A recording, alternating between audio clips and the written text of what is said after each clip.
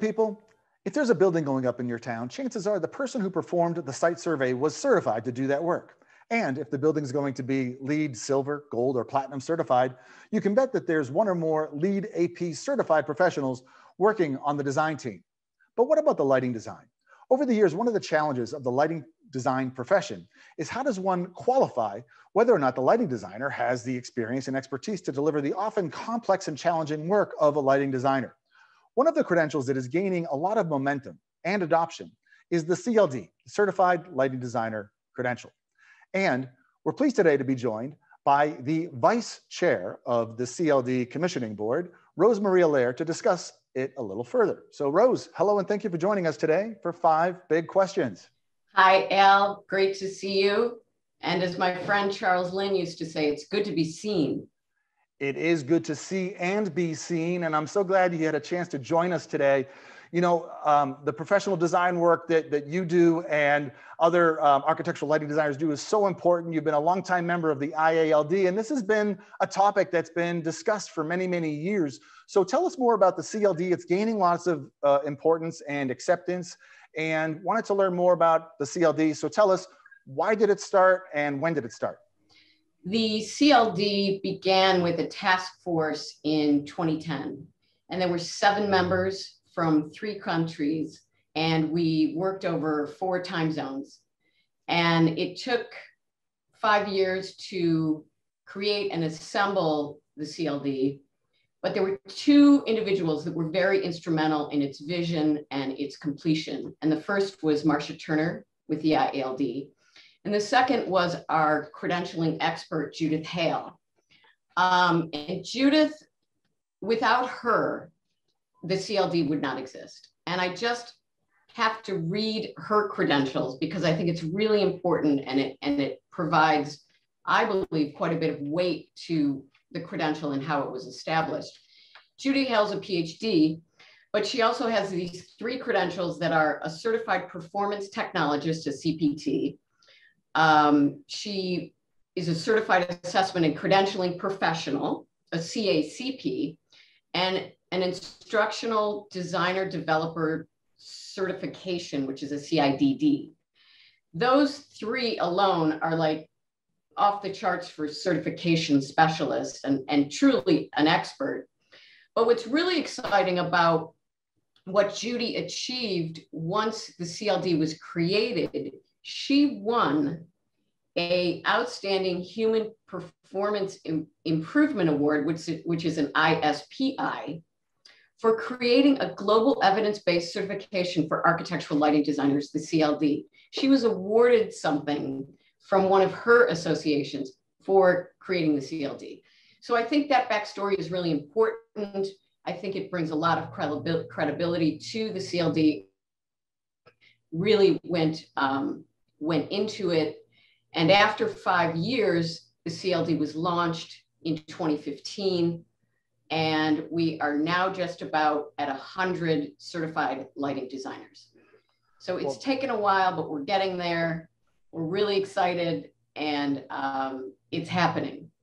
No, it's great. And I, I, I follow uh, CLD on Instagram and I see when you folks celebrate someone else who earns their credential and it's always awesome. It's usually someone who's um, you know, very qualified and, and, probably well known throughout the industry as well. So it's, uh, it's awesome that you're doing that. And when, when we think about the, the who's, who's eligible, um, there's a high bar to achieve uh, this status. So who exactly is eligible to receive this credential?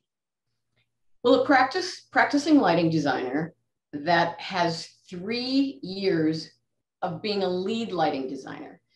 Now, typically, if you're a lead lighting designer, that means you have roughly five to seven years of experience.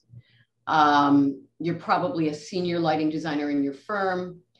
And part of the eligibility as a lead lighting designer is that you create the lighting design strategies, you um, you know present concepts to your clients and you attend meetings you don't have to do all of the AutoCAD work or the renderings or the photometric calculations, but you see a project through its completion from conception through construction documents.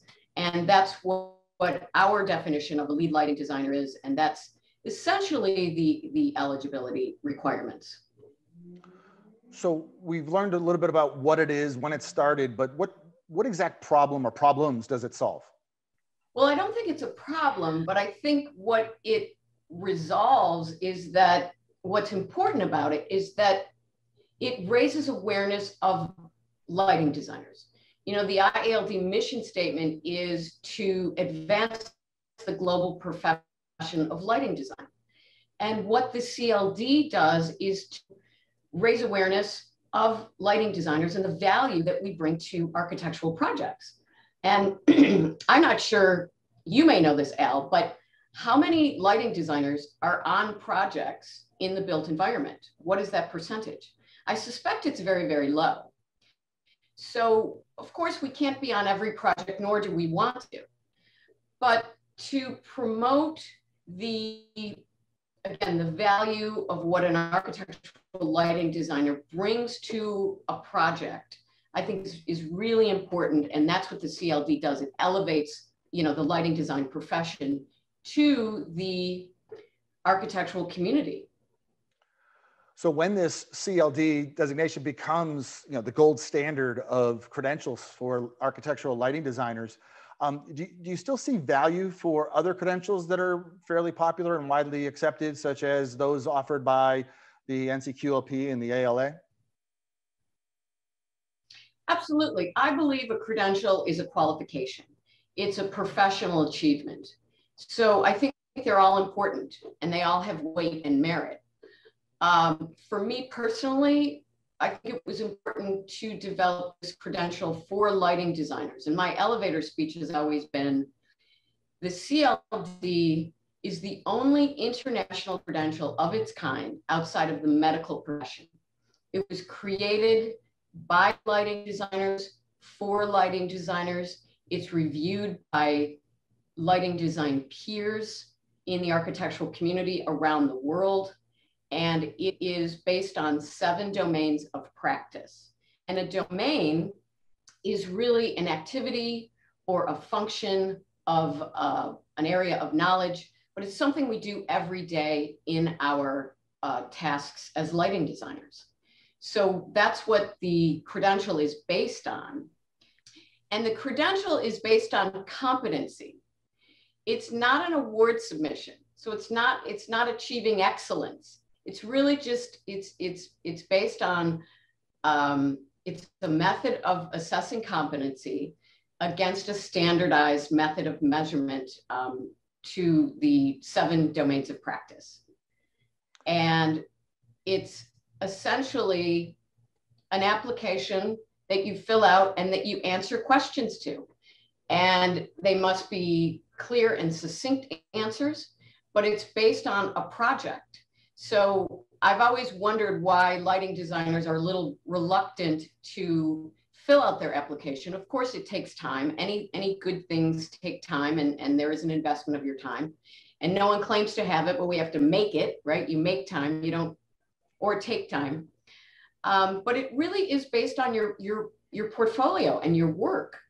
And, and if you can summarize three to four projects. That's what you submit your own work, answering questions. The, the photography doesn't even have to be professional. You can take photographs on your phone. And it's a pretty straightforward application. So I'm encouraging people to dig in and um, you know give it a try and hopefully you'll complete it and we'll have more CLDs and raise the awareness of the lighting design profession. Well, those components you mentioned with respect to having the portfolio and the experience, it, it, obviously puts this credential in a different category as others that might be well respected and accepted out there as well. And there's a place for all of them, like you said.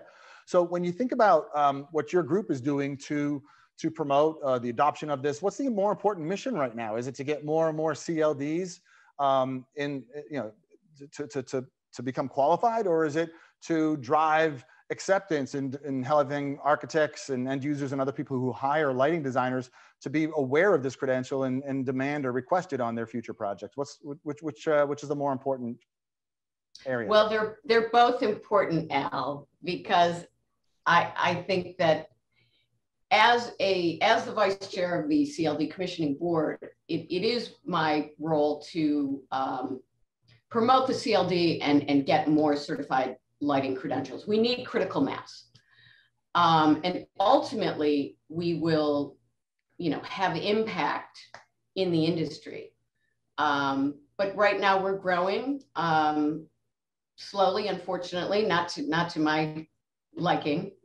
Um, I like a little bit more fast pace, uh, but it, it's coming. And um, I think what, what COVID taught us was to be patient. so um, I was hoping during COVID, more people would, would dive into that application and we'd see a greater onset of certified lighting designers. We have seen some, and you know, again, I'm staying very positive, but um, we must grow the CLD to have critical mass and to have to have impact in, in our industry. Well, my sense is that you are gaining that uh, that traction, and at some point you will achieve that critical mass. Sometimes these things take longer than one would hope or expect at the design phases of such a process. Um, but I know I was on your CLD.global website earlier, and uh, the, the names of the people, both U.S. Uh, and Canada and internationally across the, the, the globe, um, are very uh, highly well esteemed designers, um, yourself included, who I understand you were the first one in, in California to earn the credential. So, congratulations on that and many other things you've achieved over your career. We're so excited to learn about the CLD. We look forward to its um, continued growth and adoption. And we thank you, Rosemarie, for joining us today for five big questions. Thank you, Al. I will mention that the CLD represents 20 countries around the world. So we're really proud of that. It's truly an international credential. And there are some individuals that, that are the only CLD in their country. So that's, that's very exciting for them. And I have a question for you, Al. All right. Once we get back to in-person activities, are you going to continue your virtual interviews? Are you going to go back to print? Are you going to do YouTubes or live interviews? What What is your preference, Al, for um, this type of format and how you're going to move forward and move better, get better? You know, Rose, you um, you talked about how people are making. Um, you, you, expect people to make adjustments during COVID, uh, uh, do more things, establish different skills, perhaps. So one thing I've been working on is I've had a choreographer who's helping me create a TikTok channel for Inside Lighting. So you're going to see me and lots of dance moves delivering lighting news and information to the industry you're in a lying. way that's never been done. You're lying. Yes, I am. So. Uh, you're going to see these. You're to see these interviews continue and other I shenanigans. Like choreographer, I love that. you know, one thing that doesn't come across here is that I'm six foot That's five, and if you've ever seen a six foot five guy dance, usually you look at him not wow. because he's a great dancer. well, I will tell you something, Al. I studied dance. I was a dance minor, and so tall guys were always um, trying to be recruited in, in dance because they had the ability to lift and oh. they could ah. jump higher. So when you said choreographer, I was like, oh, really? You're working with a choreographer? And I didn't know you were six foot five. So good for you. You're go. almost well, a doorway. A doorway is six eight. So yeah, can you dunk yeah, a basketball? Exactly. Can you dunk a basketball? You know, I, I think I hold the record for being the tallest guy at North Andover High School to be cut from the basketball team. So I was an aspiring basketball player, but never had the skills or dedication to uh, to make the varsity team. Are you from Massachusetts? Yeah. Cool. So we're still recording. So if, if people have hung in there long enough, this is like the um, during the credits of a movie and you get like bonus content that's ridiculous. I love that. Thank you for sticking with us, everyone. So uh, we'll see you next time for five big questions. Thanks, Rose. Hey there, we really enjoyed that discussion. We hope that you did as well. Be sure to click that big LED logo next to me, and what that'll do is subscribe you to our YouTube channel so you don't miss the next Five Big Questions interview. And YouTube subscribers always receive an early preview to the next interview before we even post it on the Inside Lighting website. Thanks, and we'll see you next time.